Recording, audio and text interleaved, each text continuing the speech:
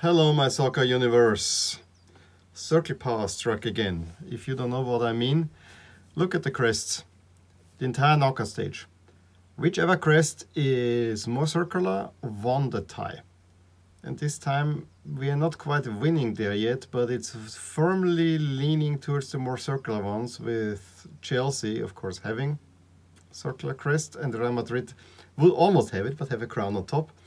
And then PSG and Manchester City, yeah, both are circular crests, uh, but Man City just has more circles on their crest. I think I count four versus PSG's uh, three. So yeah, um, we are looking at an English final. It is definitely looming. Um, and yeah, it had me a little bit unexcited in the sense that I think for a European final, I always love to see uh, teams from two different nations go against each other. Yes, we had a lot of Spanish finals, and now the English could have a third uh, all English final as well after uh, United, Chelsea, and um, Liverpool against Spurs. So we. It looks at the moment as we will see a City Chelsea final, which I have to say is not uh, is not a bad final. I mean uh, that it has very intriguing subplots in there as well bar none. Uh, I think this would have definitely one that I would watch. However, I'm afraid that um, Chelsea will take the joy out, out, out of it. And I'm saying that uh, as someone who actually used to have Chelsea as their favorite team in England. So, uh, but at the moment, um, when Chelsea wants to keep it tight, and I think if they would play against City, they would keep it tight. But I'm getting ahead of myself. Um, first of all, jerseys back there. I have of the four teams in the semifinals, I have a, a total of 12 jerseys with PSG 4 and uh, City only 2. Yeah, should probably the way it's going maybe the other way or should also out. And now with City uh, having one side to wear City and um, have 11 jerseys up there, which means one spot is empty. Yeah, it's the one behind me. But I say I'm hiding that any, anyway and so yeah, but I want to be fully transparent. As I said, the two semifinals, I have to say, um, both English teams definitely deserved uh, their slight advantage. I actually think Chelsea should have won. Um, and yeah, the game PSG against Man City was definitely the better game. There was more, uh, more to see in many ways, um, but it was also a game of two halves, very much so.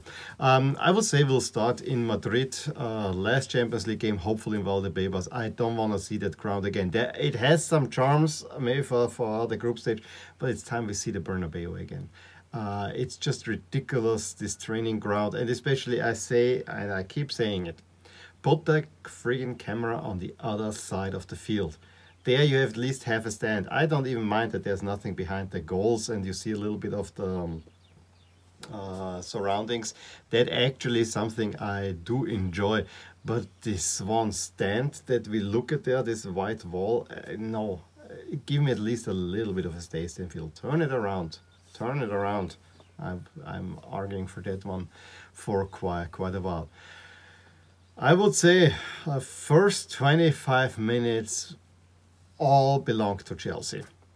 Chelsea was that much better than Round. Completely outplayed them, um, and the finishing let them down. Yeah, the finishing of one guy, Timo Werner. And I have to say, this does not come as a surprise to me. I goal scoring is not his forte. It has not been in Germany as well. Uh, especially when I watch him for the national team. He is a great player. He gets into space. He creates spaces. He uh, a lot of speed, but he's not a finisher. At Leipzig, I think he scored only against lower league, uh, lower level teams. He never scored the really important goals. I I never saw him as a big goal scorer, but he's a player that you need to get uh, into. Um, you know, have the speed, pull the defense the defenses apart, and maybe then have him uh, uh, create some, some, something, and maybe he, he can make a tap in. But the big miss that he had there, uh, where he just shoots straight at Courtois with a just a little bit more com com composure. But you know he is young. Uh, just guided into one of the corners, and it's dead.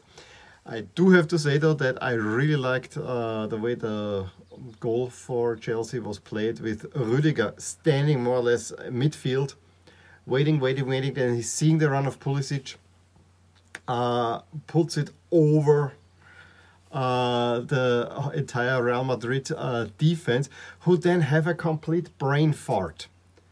Everyone is trying to defend the goal and going away from the ball. There was a complete mis miscommunication. Someone needs to go with Pulisic, who suddenly um, acres of space around him. He can compose, I mean, although his run is going away from goal, he has enough time to compose himself, go past Courtois, Courtois, then he has only two defenders there standing and needs to put in the net. I'm honestly thinking if there's a Sergio Ramos playing, this goal does not happen. Uh, it, it just does not happen this, this way. And uh, easily said, as long as there was no rain, Chelsea was completely dominating that, uh, that game. Um, also has to be said that uh, Karim Benzema had one uh, really thundering shot that hit the crossbar, and then from oh yeah, what was it? The upright. It was going there in that in into the in, into the corner, but it was more out than in. And then from a corner kick, uh, Real Madrid gets a completely undeserved equalizer. But what a goal it was! I mean, uh, the, corner comes in. Um, uh, Casemiro tips it on, then Eder Militao the same thing. Benzema can chest it down and just volleys it home. Uh, that was one sweet strike. Uh, really nice goal. The more of you you see it, it, it, it, it, it's a marvel. It's absolutely a marvel. And yeah, with that 1 1, that was basically all that was coming in that game because uh, kind of from that moment on, the everyone said, yeah, 1 1 doesn't look too bad and the game really in the second half completely fell uh, asleep or whatever I have I, I, have to say. In the first half, I actually really thought that this game will be boring uh, as can be, given how the two teams have, have been playing. Uh, so I actually decided to do some work in the first half, but it was still exciting, and I, I actually uh, hit hit myself for that because yeah maybe I should have really fully concentrated on that, that one then when I really wanted to concentrate on the game the game was a snooze fest and yeah it ends 1-1 and I would say definitely advantage Chelsea from what I, I could see uh, individual classes maybe more with Real Madrid However, as a team, Chelsea has just way too many options and they are defensively so sound. Yes, you need to probably take care of Benzema but other, other than that, I see definitely Chelsea in the um, as the favorite at this moment. Although a 1-1 draw, uh, I always thought uh, up until recently a 1-1 draw away from home is probably a pretty perfect result. However, um, you know, more as more goals get scored, a 1-1 is maybe not as safe as one would wish for. The other game, um, definitely a much better game and I think for one half it went definitely the way I wanted to go. Yes, I don't hide hide, hide behind it. I wanted PSG to win, uh, to go to the final and win it. Uh, I have been supporting PSG for a long time, and I have to say my second favorite in there is definitely Chelsea. And I think a PSG Chelsea final, just for the storyline with Tuchel, would be well worth it. Um, I also have to say, go going in it was so intriguing because both teams the the strength of one play to the weaknesses of of the other, and then you have the star power up front with PSG, with probably one of the best front lines that I've seen. And um, while I admire Mbappe, and I really can appreciate what Neymar is doing, although as a person I'm not so fond of him. Uh, it is Di Maria who really uh, excites me the most of them and who gets the least headlines. But what Di Maria is doing is just uh, when he's on, he's tactically br uh, brilliant. He can take everyone on. Uh, his crosses are world class. He is the player that excites me personally the most in there. It was also good news that Verratti for PSG was back. But uh, coming back to that, I mean, we had um, the three stars up front for PSG who basically take all the uh, limelight. However, Manchester City as a team is so well crafted and so exciting and so non-traditional in many ways with the false nine. I mean, there was no Aguero, there was no uh, Gabriel Jesus. Uh, it, it was all on the midfield players. And uh, if you read Michael uh, Cox's book, uh, zonal marking. Uh, I had to just look, look a great book to read. Uh, he basically says that, Bar- uh, that um, Guardiola, not Barcelona, Guardiola likes to build his teams of 11 Guardiolas. That would be his perfect team to have. Uh, all midfielders uh, who can play any, any, anywhere. I think the star for Man City is definitely De Bruyne, a player that I totally enjoy watching. Uh, there's no doubt, doubt about it. He's one of my favorite uh, players, especially when he's on in the, in, in, in the Premier League. But then I'm thinking, yeah, this shows you how much team Manchester City because the star of the team is no match for the three up front at PSG. Absolutely. Uh, one hand, hand, 100%. Uh, that that for me it was the three star, uh, stars up front that actually gave Man City in the first half a whole lot of trouble. Um, especially then after PSG was in, in, in the lead, I've never seen Man City being pushed so far back. Yes, Man City had actually quite some uh, chances there, especially the one by Foden around the 40th minute, where um, he doesn't need to take it uh, full on just guy, guy, guy with the inside of the foot in, into one of the corners, and you uh, most likely will score a goal that, despite, I mean, if you look at highlights of the, first, we think it was an even game. It was all PSG because Neymar came out to play, Mbappe was out, out, out to play. They get a really nice goal from um, a corner, corner given Marquinhos perfectly attacks the ball coming from outside side box. The way he heads it in, this is pretty much the perfect um, uh, um, corner kick. Uh, and they created chances. It was not that they were big chances, but uh, PSG was definitely uh, pushing uh, Man City back, who maybe seemed a little bit too afraid of uh, the attacking prowess that we have with Mbappe and Neymar. And if Neymar is trying to take on players left and right, that's a joy, joy, joy to watch. And even when he once fell down on, on the floor with, with the elbow, he was not rolling around. You could see he was clearly hurt there, and you would believe it. So yeah, first half I was actually quite optimistic because uh, nil lead and it looked really really good. But um, as I come to see now very often, the second half and, and and the entire game is a little bit the embodiment of how the seasons for my two favorite team teams were going. You start out strong. And then you just don't have enough energy, and it gets more negative. You get da da da da da, and all goes downhill.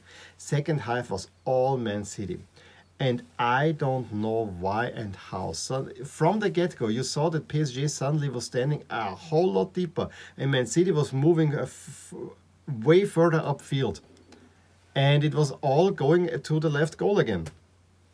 So uh, that is something I did not really under, understand. Before I go further in, I, I, I actually got a nice tidbit uh, for the. Um, uh, commentary. I mean, I I watched it on DAZN where actually Sandro Wagner was the um, color commentator, and um, the com commentator just I think in the 11 or after the first uh, corner kick for PSG said that Man City has not uh, conceded a goal this Champions League from a dead ball situation, and Sandro Wagner actually said, "Well, you know, that you that usually means they will give up one."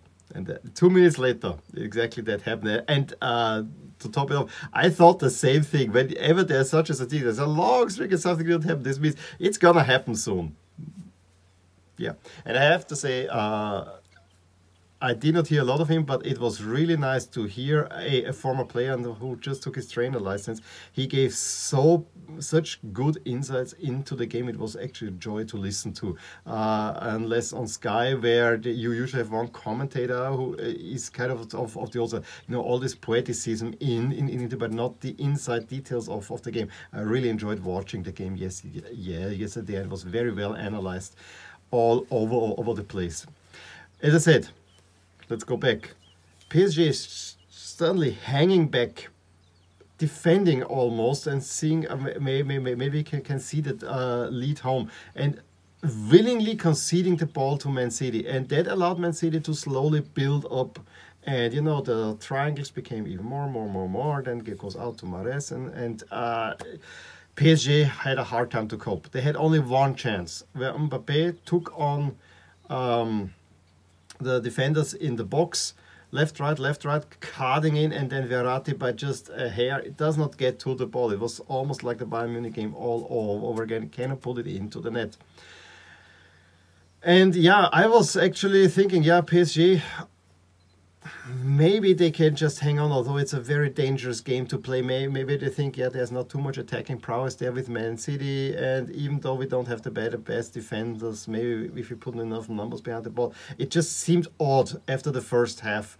Uh, there, but then after a corner, corner kick, the ball is played out. Zinchenko, De Bruyne wants to cross it in and no one can clear the ball and Navas is caught between a rock and a hard place because if he commits himself going to the left if, if a defender like Stones gets towards it and I think uh, he a little bit um, uh, distracted um, um, Navas there, there as well because he if he, he gets to it and Navas needs to stay in the position where he is. If he commits going to the left yeah you cannot fault him for this goal uh, it was the defenders that just need to clear that ball and it goes in. And then you already saw then that Man City was keeping the ball more and more and more and more and more and more, and PSG couldn't get to it, and they got frustrated. They lost their head. You, you, you could see the nervous energy. So, so suddenly Neymar was throwing hissy fits, and everything was not going their way. Then they make this stupid foul. It's a free kick, and the wall does not hold uh, I think it was Kimpembe and Paredes who just open a gap and Mahrez puts it right through. And I, I, I think everyone thought that De Bruyne is going to take that free kick. This probably will settle the tie. With a 1-1, I think PSG has a chance. A 2-1 away from home, I also have, have to say that Idrissa Gueye's uh, foul on Gundogan was ugly, fully deserving of the red card. And then uh, when they all were storming to get De Bruyne sent off, I really did. I really didn't like it. I it, it was really that uh, the body language, especially of Neymar and Mbappe, then uh, dropped significantly. You could see the frustration, and at that moment, City knew they had them. And it would have been not unfair, I think, if there would have been a third goal scored because it all went downhill so quickly. And as, as, as I said, it's the same thing as the season, whole season for Milan and Lask is going at the, at, at, at, the moment when the first, the first half you play pretty brilliantly and then it all goes down. So I know the feeling this was all condensed in it one game, but I have to say Man City uh, deserved winners of that one. And so, yeah, I would say let's look at the chances uh, that to advance. Uh, Man City 94% now in my model and 57% of winning the entire Champions League. Uh, that percentage is so high because they have such a clear ad advantage now. I don't think it's beyond PSG to win, but you basically need to win by two goals clear or 3-2, which they have done against Barcelona and Bayern, the two other Guardiola teams uh, interestingly enough, but it's a tough task to ask. Chelsea favorites over Real Madrid, but they will not be favored against City, so that's why they only have a 26% chance at the moment winning Real Madrid. Yeah, I can see this maybe going even to penalties in London, although I think Chelsea is overall the better, the composed team and also the fitter team because Real Madrid is, yeah, let's say not very um, fit, it seems. We have the uh, return legs we have uh, next Tuesday. We'll get the return leg Man City against PSG. I still am looking forward to that because I think those two teams are really uh, a joy to watch. Uh, although I think it's pretty foregone conclusion that Man City will go through there. Um, and then Chelsea, Real Madrid, as I say, I expect a little bit of a dogged game. Um, Real Madrid needs to do something and I want to see if their midfield can pull out one great performance. But I think over, over when I look at the quality of squad, should be Chelsea going through. In any case, what do you think about the two semifinals and who will make it to the, to, to the final? Um, give me a thumbs up if you enjoyed this video, subscribe to my channel if you want to see more, and I will talk to you soon. Bye! Hey there, I really hope you enjoyed this video and if you did, here are some videos and playlists that you might enjoy too.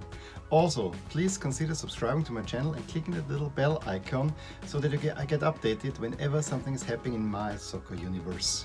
And with that, have a wonderful day. Bye.